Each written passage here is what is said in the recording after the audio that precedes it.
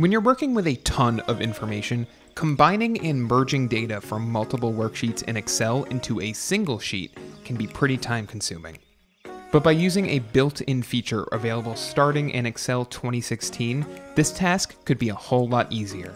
Let's take a look at how to do it. Power Query is a great data connection feature that allows you to seamlessly combine data stored in multiple worksheets. To use it, your data in each worksheet has to be organized in Excel tables, and the structure of the tables should be consistent. You should also name your Excel tables in order to avoid confusion. As an example, let's say we have to prepare a report for the first three months of the year. We could name our tables January, February, and March. To combine the data, click the Power Query tab, select From Other Sources, then select Blank Query. You will then be taken to the Power Query editor. Type equals excel.current workbook, open parentheses, close parentheses in the formula bar, and hit enter.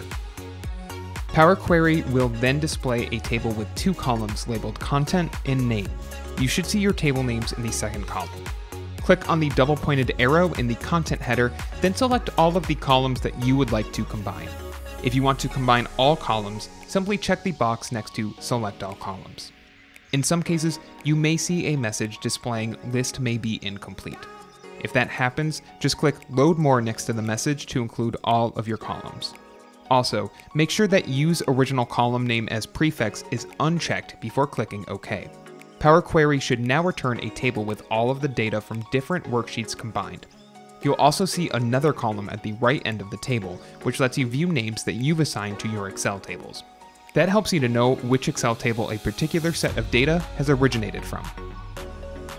The process of merging data in Excel can be tricky, so before merging data from multiple worksheets, ensure that all worksheets have identical headers, types of data, and don't contain blank rows or columns.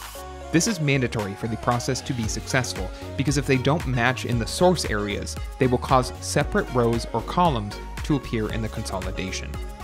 When you're ready, create a new worksheet. Click on the Data tab, then select Consolidate. In the Function drop-down menu, choose Sum and in the Reference menu, click the Expand Collapse button to its right to access the data you want to merge.